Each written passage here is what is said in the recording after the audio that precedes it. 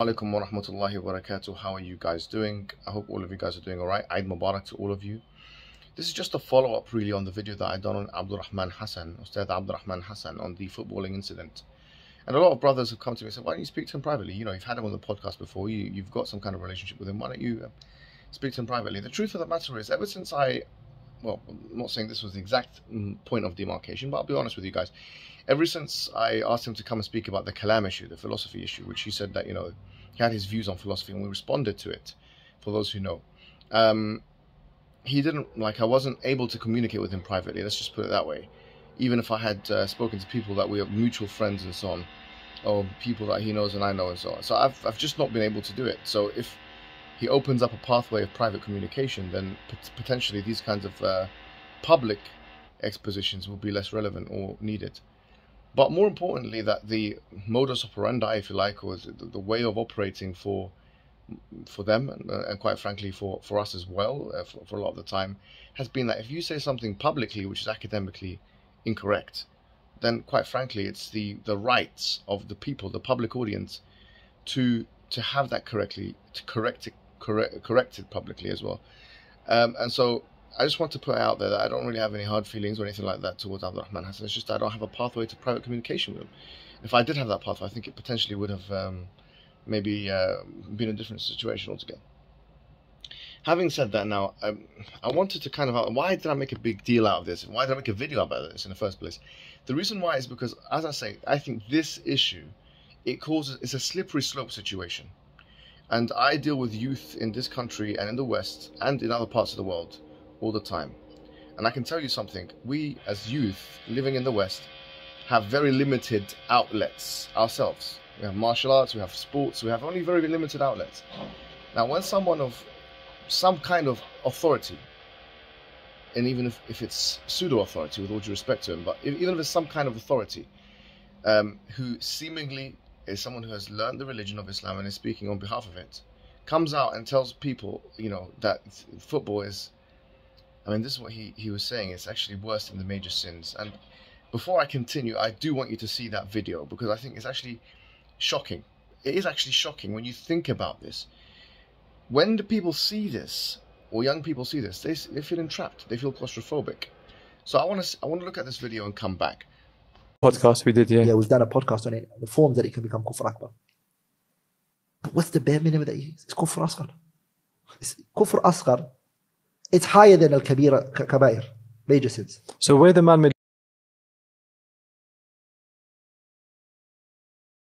as you guys have seen there, bro, uh, guys, honestly, to be honest with you, this is, ana az'um, I am making the claim today that this is not only a khata, this is not only a mistake, this is actually incorrect teaching of aqidah. And this is their bread and butter, okay? Abdurrahman Hassan, listen to me carefully. I know you're watching this. 100% you're watching this, okay? I know you don't speak to me privately, no problem. I'm, I'm extending my hand. We can have very fruitful conversations as we have in the past privately.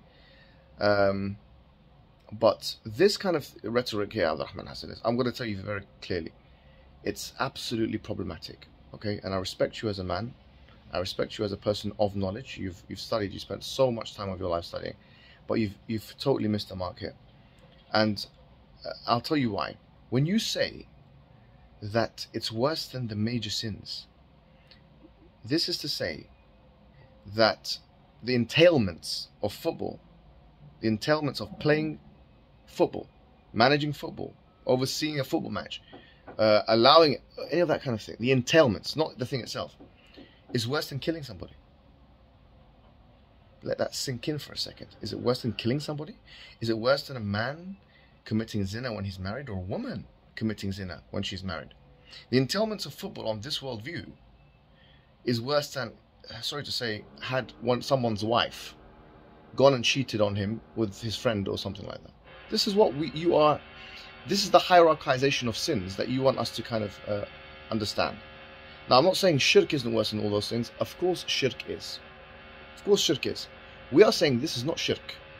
And you and you telling the people that this is a kind of shirk, a kind of uh, uh, uh kufr asghar, because it's. It's a form of kufr. It's a distortion of the religion of Islam. You're, you're mocking you are. I'm not going to use the word mocking. I take that back. I strike that from the record. You are trivializing. Okay. Number one, the major sins, and you are mis- misapplying what it is to do kufr and shirk, even in the even in the minor forms. And we must be clear. He's not saying it's kufr akbar or shirk akbar. He's not saying that. He's not saying someone who plays football is a disbeliever. Yet he is saying it's worse than the major sins. I, I find it so problematic. The reason why it's wrong, what you're saying, is not even ijtihad, and we're not going to accept this. And how could there be ijtihad on something which is aqaidi anyways, like this? If something is creedal, why do we need to do ijtihad on it? It should be so clear for the people to see. Okay? The reason why it's not ijtihad, and this is not acceptable, is simply because الحكم بغير ما أنزل الله that يقتضي it entails a substitution replacement يقتضي uh, entails تعارض بين الأحكام that somehow the referee or whatever it may be is at, is against a hukm and uh, ahkam Allah subhanahu wa ta'ala and we are preferring this hukm over the hukm of Allah otherwise let me give you a scenario and I'll make, I'll make this very simple you, you teach classes right Abdurrahman Hassan. And say, for example, there's someone in your class and you're in a Muslim country, there two people have a fight. Two people have a physical fight. And one person breaks the bone of the other person. You say both of you are suspended from my class. Okay? Which is the equivalent of a red card. Are you doing al-hukm bi ghayr ma Allah? No, you're not. Because you're not saying this suspension is a replacement for the had. And the analogy is perfect. And there's no difference between the two things. It only becomes al-hukm bi Allah when it's a substitution or replacement and the person prefers it. Do you understand? The person prefers it to the hukum that Allah subhanahu wa ta'ala has sent down. This is such an error of judgment that you can't just, I'm kind of, I'm really sorry, but you can't just scurry away and think, oh, well, it's a matter of ijtihad, we're not going to mention it, we're not going to talk about it, we're not going to retract anything, and we're just going to move away. This needs to be retracted. Because with this, you are confusing young people and something which should be the bread and butter, which is your aqidah, is absolutely wrong. So all that is acceptable at this point to save kind of not your public reputation, to save or anything like that, is it's just to save the academic amana, you know, that you've you've distorted here, is a retraction. Say this, I've taught this wrong. Come to the conclusion I was wrong about this. And there's nothing there's nothing there's nothing wrong with being wrong. I mean we're all wrong, wallahi. One more thing I want to add. Recently, he said something to the effect of we shouldn't be talking. He talked about the intellect in a manner that was like we, we when the Quran and Sunnah and the Salaf, we kind of lead the intellect. When you're applying ahkam, you need two things. You need ilm and fahm. That's why the Quran says, فَفَهَّمْنَاهَا سُلَيْمَانَ We gave Sulaiman understanding of it. Ilm and fahm are two different things. And what I'm saying is, with all due respect, right? If if you're misapplying ahkam, which are basic for even lay audiences to be able to see, and reason, then imagine when it comes to masail of tabdi'a and takfir. Like imagine now the ummah has to uh, rely on your judgment to do tabdi'a on person X or person Y or person Z. If you are making such blunders on on issues of football or something like that, what, what about when you're making tabdi'a of this person or making ahkam ta'ayuniyya on person X or person Y or person Z? Now tell me, let's be honest, to what extent do you think people will take your fahm your understanding seriously? And to what extent do you expect us to? Why should we, if this is how you're misapplying things, for the lay audiences to see? I think Allah subhanahu wa ta'ala has made this very clear. And He's made the lay audiences kind of exposed to this. To, re- to let people see that your fahm and tatbiq, fahm tatbiqi, or applied fahm of the ahkam of Islam is actually not on point and it does require treatment. I don't think it's arrogant for me to say to you, look, We've been working with people, mashayikh and ulama and so on for a very long time. And my, uh, you know, mm, offer to you is that we have fruitful discussions in private and that we can we can help you with critically thinking so that it can help you with tatbiq al-ahkam. It will help you sharpen the mind.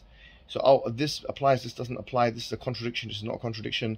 Um, these kinds of things. I, I genuinely think, I wallahi, and I put this offer to you and to people like you okay just put your just uh, come reach out to me and i will take my time out we talk you can teach me something because there's a lot to learn from me brother a lot to learn and i'll tell you a few things and that will be it but please you know, retract this this disgusting. Sorry, not. I'm not going to use strong words. This abominable. This is a strong word. This uh, uh, off the mark fatwa. Please retract, retract it for the sake of the youth who need an outlet. Salafi youth in this country and other types of youth who listen to you. Please don't make life difficult for them, and start, you know, appreciating the the nuances of the ummah.